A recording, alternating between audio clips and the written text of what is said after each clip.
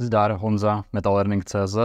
Je zde únor, teplo v Portugalsku a já opět jako každý rok i přes všechny mé složitější investiční aktivity a širší diverzifikaci mezi mnoho investičních nástrojů od realit po projekty udělal jeden každoročně stejný primitivní krok ve správě této části svých financí a tak je zde tematické video z kurzu Investice finanční gramotnost. Protože tento krok zvládne každý z vás i bez hlubšího studia – Dělám ho pravidelně mnoho let a nezabere určitě více než 5 minut času. V dlouhodobém běhu přináší hrubě 8 až 11% ročně a i kdybych nedělal nic jiného v oblasti kapitálových trhů, vše by fungovalo velmi dobře. Morální stránka tohoto kroku je silně relativní, je zastoupená více v neoranžové koláčové části, proto ji nebudu příliš řešit a obhajovat. Návod jako takový by zabral minutu, takže si nad rámec té minuty přibalíme i pár hlubších pojmů, díky kterým budeš reálně chápat, co děláš. Jdeme na věc. Minutová verze s návodem nejdřív. Každý rok si otevřu své dva obchodní účty. Ty si případně založ u kohokoliv, odkaz je v popisku. První je u mě Degiro, na kterém investuji v eurech, druhý je u mě e-broker od Fiobanky, kde investuji v dolarech. Na každý z těchto obchodních účtů pošlu jednou za rok převodem částku, kterou nepotřebuji k životu, o kterou mohu přijít a být caj. Výše nehraje roli, bulvár zde na YouTube nepotřebujem. U Degira každý rok nakoupím XY kusů veřejně obchodovatelného fondu ETF, který drží ty největší společnosti táhnoucí světovou ekonomiku či nějaký výběr, sektor, třeba zdravotnictví. Představ si to jako nákupní košík v supermarketu, kterém jsou namíchané veřejně obchodovatelné firmy, jako je třeba Microsoft, Apple, Amazon a další. Možností, které koše koupit, je samozřejmě mnoho. Zcela konkrétně tak koupím třeba ETF se zkratkou k vyhledání I2VDA od iShares, které je akumulační, vysvětlím, co znamená brzy, anebo novější akumulační od Vanguardu, dohledatelné pod zkratkou tickerem V2VCE. To byla investice v eurech. Klik sem, klik tam, neřešit, jak moc nahoře či dole cena je, ignorovat to, potvrdit kódem na mobilu, hotovo. Pro dolary udělám to samé u FIO banky a koupím XY kusů, třeba ETF pod tickerem VIG. Nebo dalších podobných. A to říkám záměrně, protože můžeš samozřejmě investovat do jinak namíchaných košů, mít jich více. A je to. Nebyla to nejlepší investice do svého sebevzdělání, ani do aktivního podnikání s mnohonásobně většími zisky, nebyla ani nijak značně subjektivně morálně kompatibilní, ale i tak si udělal těmi kliky ve svých financích mnoho. V jaké situaci jsi nyní po pár kliknutích? Díky těmto investovaným pěti minutám času za rok držíš ve svém portfoliu podíl určitého většího či menšího segmentu celosvětové ekonomiky, což tě samo o sobě spokojeným neudělá, ale žiješ v materiálním světě. Například onen VIK má desetiletý průměr růstu 10,7% za rok. To klíčové je, že po zbytek roku můžeš dělat workouty, makat na své integritě, pomáhat aktivně ostatním, rozvíjet se v rámci konceptu hry, cokoliv zajímavějšího, než se hrabat ve finančních výkazech. Prostě na tuto investiční část zapomeneš a vrátíš se s další částkou třeba opět za rok, jako já, nebo za jiný pravidelný interval. Díky tomu využíváš něco, čemu se říká dollar cost averaging. Jinými slovy, nesnažíš se trefit dobrou cenu jak samotného ETF, ani dobrou cenu převodního kurzu svých obvykle českých korun na dolary či eura. Zároveň v širokém košíku firem diverzifikuješ. Nenosíš všechna vejce v jednom košíku, ale vejce, své peníze, přebytečnou energii z tvého aktivního pomáhání ostatním, z práce či podnikání rozptiluješ do mnoha forem, měn, trhů, zaměření, obchodních účtů, a to vlastně bez hlubších znalostí fungování jednotlivých firm. Protože to pochopíš až v době, kdy budeš buď vlastnit svoji vlastní firmu, či v kombinaci, kdy nastuduješ fundamentální analýzu, tedy budeš schopen číst účetnictví jednotlivých firm a budeš se detailně orientovat ve fungování dané firmy. Překonat dlouhodobě a udržitelně trh je více náročné, než se zdá. Pokud si budeš chtít koupit podíl v dílčí firmě, protože máš víc času a vzdělání, nehraješ ruletu, vznikne ti ze všeho takzvané satelitní portfolio. Satelitní proto, protože kolem jedné velké planety jménem obří plošná ETF bude kroužit pár dílčích firm, satelitů. Proč jsem ale demonstrativně vybral ETF se zkratkou ACC, akumulačním názvu a ne distribuční? To znamená, že fond reinvestuje výtěžky, například vyplácené podíly na zisku, dividendy zpět do fondu na místo výplaty držitelům, to znamená tobě.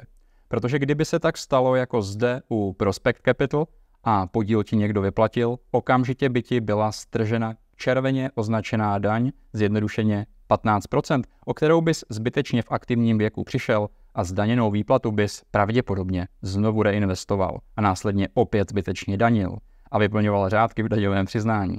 Akumulační ETF nevyplácí, nedistribuuje nic, anebo jen drobnou část, roste kapitálově. Je to podobné jako vlastnit nemovitost, která roste kapitálově na své ceně, ale může distribuovat i svůj zisk, jenž generuje ve formě nájmu, který opět daníš. U ETF si výplatu ze zisku, takovou dividendu, případně uděláš sám v době, kdy si 80 budeš chtít užít v křesílku sklenku vína na pláži tím, že prostě pár kusů ETF odprodáš. Časem si třeba začneš klást otázky, zamýšlet se nad onou relativní morální stránkou věci, jestli je pro tebe OK, že ona částka šla z 2,65% třeba do ropy, nebo s tím neusneš. Možná si začneš všímat toho, že takzvaný benchmark, porovnávání a akceptování určitého rizika je pro tebe jinde než u ostatních lidí, či se mění v čase, jak rosteš.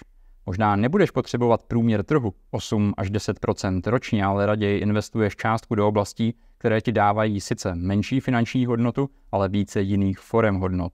To jsou ale již nadstavbové otázky, kterých máme plný kurz. Pokud máš pár minut navíc, mrkni ještě na můj videokomentář a budu se těšit zase někdy příště, ať už zde na YouTube, v kurzech metalearning.cz nebo osobně na nějakém workshopu či akci, kterých je tento rok v plánu hned několik.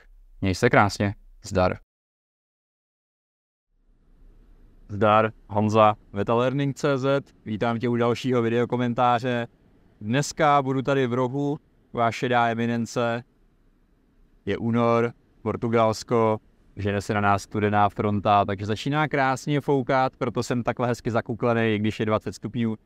Koukám tady do mobilu, kde mám scénář, ty animované lekce a chtěl bych ti říct nějaký další body, něco, co mě napadne k tomu, co jsi viděl v ty krátké animované části, co se dá rozvíst ještě dál, pokud máš pár minut času navíc.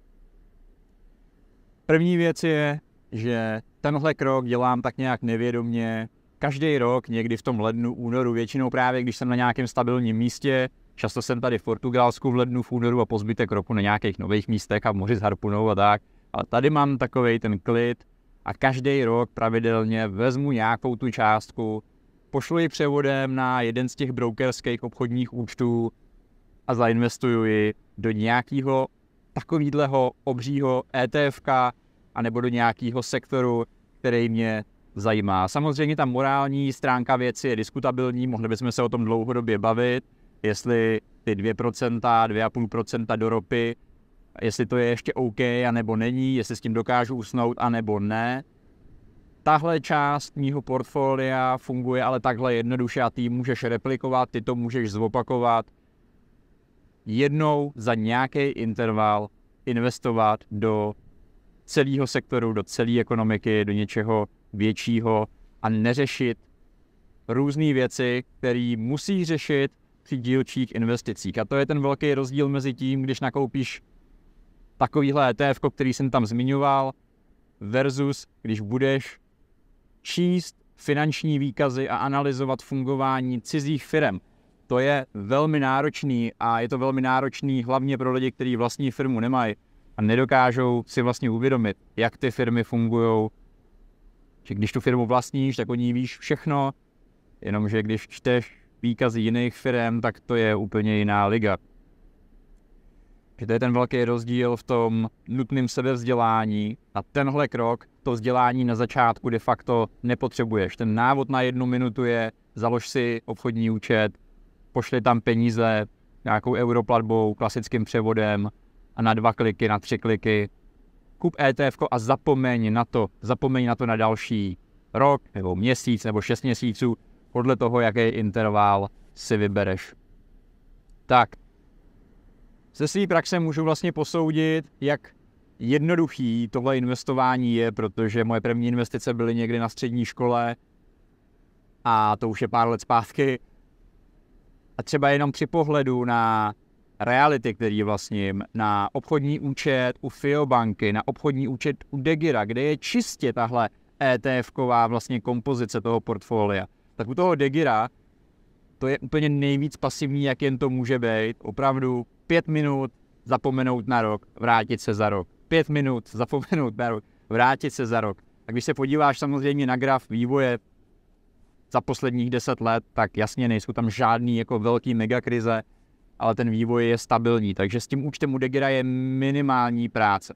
U FIO banky nemám samozřejmě jenom nějaký takovýhle velký ETF nebo sektorový ETF, mám tam i dílčí firmy, který si vybírám, ale když bych měl posoudit po těch deseti a víc letech náročnost toho se vzdělat a vybrat ty firmy a sledovat jejich vývoj, protože když máš 10 firm v portfoliu, tak ono to není jenom o tom, že jsi si vybral jednou na základě nějakých kritérií, ale každý rok čteš prostě jejich eh, výkazy, jejich dokumenty, jak se jim daří, jaký mají plány. Musíš v tom trávit nějaký čas a mě to upřímně nebaví. A pokud těch firm máš hodně, tak je to opravdu velký časový náklad. Proto ty manažeři těch fondů to mají jako full-time práci a neustále analyzují ty firmy, sledují, jak se jim daří. A to není rozhodně něco, co by mě v životě naplňovalo. Takže nějaká část mého portfolia je takhle jednoduchá, takhle primitivní. Tak, tak já jsem tady zmiňoval konkrétní ETF, některý i držím, některý nedržím, ale je úplně jedno, jaký si vybereš, můžeš se podívat do databáze ETF a vybrat si nějaký velký, zajímavý nebo zajímavý sektorově, zapojit do toho už možná nějaký svoje hodnoty a vybrat si víc konkrétnějc, než to hodit úplně do všeho. A tahle část je na tobě. I kdybys replikoval ty kroky přesně, jak jsem říkal, koupil si v dolarech, já nevím, VIK a eurech, IDVA, něco prostě plošně velkýho, tak je to OK. Je to v pohodě, pochopíš na tom, jak to funguje a projdeš si tou praxí. Uděláš to a začneš se potom postupně zamýšlet nad dalšíma otázkama, který ti potom vytvoří tu reálnou finanční gramotnost, kterou využiješ v životě v praxi dál. Tohle je krásný startovací krok. Zmiňoval jsem tady nějaký nadstavbový pojmy, protože jsou důležitý. Mnoho lidí se bude snažit časovat ten nákup tak, aby třeba koupili za dobrou cenu dolary nebo eura, nebo aby koupili to ETF za dobrou cenu v čase, třeba při nějakých krizích a tak podobně. To je velmi, velmi náročný, spíš taková ruleta. Jednou se ti to podaří, jednou ne. V tomhle případě je skvělý, že na to kašleš. Prostě jednou koupíš líp, jednou koupíš hůř. Možná na začátku, když začínáš a investuješ první rok, druhý rok, tak ty výkyvy vidíš víc, ale potom, když tu investici děláš pátý, sedmý, desátý rok, tak to průměrování začne nabírat na efektu a už ti to je vlastně docela jedno. Já vlastně každý rok, když tu částku investuju takhle někdy v lednu, v únoru, tak ve valné většině případů jsou ty fondy někdy na maximech, všude jsou články o tom, jak to půjde všechno dolů, jak bude velký krach a tak podobně. No a posledních třeba, nevím, pět, pět let se to moc neděje, výjima, výjima covidu, ale ten se trefil poměrně dobře do toho mýho nakupovacího okýnka v této fázi. Takže to je ta krása toho průměrování, říká se tomu průměrování dolarů, prostě průměrování kurzu měn, ale i průměrování ty nákupní ceny v čase. Krásně ti odpadne kupa starostí a můžeš dělat nějaký jiný věci. A to je, to je ten další pojem, který tady zmiňuju. Za pět minut máš vlastně hotovo, nemusíš řešit nic dalšího, ale můžeš řešit ty ty důležitější věci v životě, na kterých ta spokojenost stojí. Jsem tady zmiňoval nějaký body, prostě pracovat na své integritě, pomáhat aktivně ostatním, to je to aktivní podnikání, dáváš do toho energii, vzděláváš se, řešíš svůj problém, abys byl spokojenější. Někdo ten problém má, taky dává ti energii za to zpátky ve formě ceny za tvůj produkt anebo službu. To je to aktivní pomáhání lidem. To generuje mnohem víc druhů hodnot energie než tu finanční, která je velmi snadno saturovatelná. Tak, takže to je ta výhoda, časová úspora. Pokud víš, to v tom čase dělat, tak můžeš hrát třeba koncept hry, hrát si v šesti životních kategoriích, jako máme v kurzu produktivita, rychlo učení. Je to podle mě zajímavější, než se hrabat v těch finančních výkazech. Tak zároveň se tady krásně naplňuje diverzifikace. Automaticky koupíš jeden nákupní koš, je diverzifikovaný do různých firm, do různých sektorů, někdy třeba do různých měn, můžeš si s tím hrát, pochopit základní věc jménem diverzifikace, protože já jsem potkal mnoho lidí, hlavně v Čechách, na různých akcích, který mě vyprávěli takovou tu klasickou historku, a já jsem tady začal investovat, investoval jsem do tyhle firmy a ono to bylo nějaký letadlo, ono to krachlo. Přišel jsem o všechno a teďka dalších 30 let splácím. Lidi základní pravidlo, diverzifikace. Jo, jako Charlie Munger, který tvrdí, že diverzifikace není tolik potřeba, je Charlie Munger nebo lidi, kteří se v tom pohybují na full time, ale to není většino, většinový případ nás všech, takže v tomhle případě se krásně naučíš i diverzifikaci. Pokud tě to bude zajímat dál, tak si dostaneš k tomu bodu, kterýmu říkám satelitní portfolio, to znamená ta planeta, taková ta hlavní energie, ta hlavní buffetovská sněhová koule, která se nabaluje, je tahle pětiminutová investice. A okolo, když se budeš vzdělávat a budeš schopný si vybrat dílčí firmy, protože budeš rozumět jejich účetnictví, budeš rozumět jejich produktu, lidem, který mají managementu, tak si vybereš nějaký dílčí firmy, které budou kroužit kolem ty planety, jako ty satelity, to je to satelitní portfolio. Takhle vypadá vlastně moje portfolio,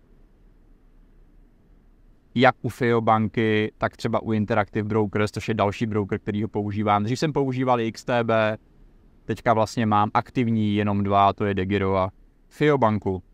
Důležitá zmínka tady je, proč jsem vybral to slovo akumulační do tohohle videa. Ono to není kvůli tomu, že bych ti chtěl říkat, že daně jsou špatně a všechno je špatně v tomhle ohledu, ale spíš, aby si uvědomil, že v tom aktivním životě, kdy pracuješ, máš firmy, odvádíš daně tam, platíš DPH, různé poplatky, odvody, daníš pronájmy z realit, daníš příjmy z úroků, z půjček, cokoliv, co vlastníš ve svém portfoliu, tak je v celku zbytečný si vybírat další nástroje, který budeš danit, protože ten zisk, který získáš, budeš nejspíš zase zpátky reinvestovat a ten znova danit a reinvestovat a znova danit. A v tom je výhoda toho kapitálového růstu. U nemovitostí držíš, cena nemovitosti roste, pak ji prodáš, jsi osvobozený od toho danění. U nájmu nejsi osvobozený, platíš prostě 15% daň z nájmu a stejně tak tady z každé dividendy, z každé výplaty, podílu na zisku by ti byla stržená automaticky 15% daň a tady zjednodušuju 15%, dejme tomu těch amerických titulů, kde máme podepsaný papír na zamezení dvojímu zdanění, neplatil 30, V8 Ben, tak automaticky ti přijde dividenda, šup, 15%, jde pryč, potom to musíš řešit, daňově přiznání to uvádět, vyplňovat několik řádků. Pravděpodobně to budeš dělat tak či tak, ale alespoň to nebude taková výše. Tyhle akumulační ETF buď nevyplácejí nic, anebo nějaký drobný procenta, třeba 1, 1,5%. Takže výhoda ty akumulační verze je, že ty výnosy reinvestuje zpátky do sebe a ty se o to nemusíš v tomhle ohledu moc starat. To neznamená, že nemám distribuční verze firm ve svém portfoliu. Samozřejmě mám nějaké firmy, které vyplácejí dividendy, některé i větší, ale nesoustředím se na to. V tom videu byl screenshot uh, Prospect Capital, což je firma, která vyplácí, já nevím, 12%, mám i v portfoliu v nějaký malý míře, podí mě z toho, já nevím tam, kolik tam bylo, 180 dolarů měsíčně, něco takového, ale nesoustředím se na tyhle tituly primárně, protože to je zbytečný, jsem aktivní, mám příjem z jiného, z jiný, z jiný formy cashflow, ne z pasivního cashflow, to nepotřebuju. Radost mě dělá aktivní cashflow, aktivní podnikání, firmy, projekty, akce s váma všema, workshopy, cokoliv v tomhle směru. To víno na pláži si nepotřebuju kupovat z dividend, který mě přijdou. Koupím si ho za aktivní energie, která se točí kolem mý práce. Vstupují do toho potom dvě zajímavé věci, jsou morální hodnoty. Já často v kurzu sebevědomí mužská integrita popisuju, jakým způsobem funguje morální relativismus, nebo jak se morální hodnoty, anebo hodnoty obecně vyvíjely na základě evoluce v průběhu času, na základě kultur, lokality, jak se vyvíjela pravda, nepravda. Všechny tyhle věci jsou důležité, protože na základě nich si budeš vybírat, do čeho budeš investovat, jestli usneš s těma dvěma a půl procentama v ropě nebo ne, nebo to zainvestuješ radši někam jinam, kde tahle složka zastoupená není. To je velmi zajímavý faktor, který se mění v čase, když ti je 18, 20, začínáš investovat, jasně, pravděpodobně to nebudeš řešit tak moc jako po 20 letech v investicích a v úvahách kolem integrity a hodnot a, a rolí a různých dalších, různých dalších prvků. Někdy u, kan, u konce ty animace byl jeden odstavec, který je dost kontroverzní a možná se říká, že s investicemi nemá nic společného, ale tam je takový to zamyšlení, jako OK, chci 10% ročně a to mě dělá happy, anebo později chci jenom 3% ročně a k tomu nějakou jinou formu hodnoty, anebo jsem schopný na části portfolia mít minus 3% ročně, ale přinese mě to třeba nějakou, nějaký zážitek. Já nevím, koupím si plachetnici a prostě neuživím ji, bude mě to stát 5% ročně, ale budu tam mít kámoše a aktivity. To je něco, co potom začíná hrát prim v těch pozdějších fázích, kdy si začínáš v tom portfoliu mixovat nejenom aktiva, které ti generují cashflow do plusu, ale mixuješ tam na první pohled i pasiva, a nevím, auto, loď, cokoliv, co ti vlastně ty peníze z části bere, žere. Je to cashflow, který teče z tvý peněženky pryč, ale přináší ti to jinou než finanční formu hodnoty, která je potom důležitější a důležitější a důležitější. Na to máme plno lekcí v kurzu, tím tě tady zatěžovat nebudu. Tak, to je všechno. Můžu se na tebe těšit zase u nějaký další lekce, ať už na YouTube, nebo v kurzech, a nebo na akcích na osobním setkání, někde v Krkonoších, na katamaránech v Řecku, Praze na živých otázkách odpovědí teďka v březnu 2024. Je toho víc a jdeš to na metallearning.cz lomeno akce. Uživej život a měj se krásně.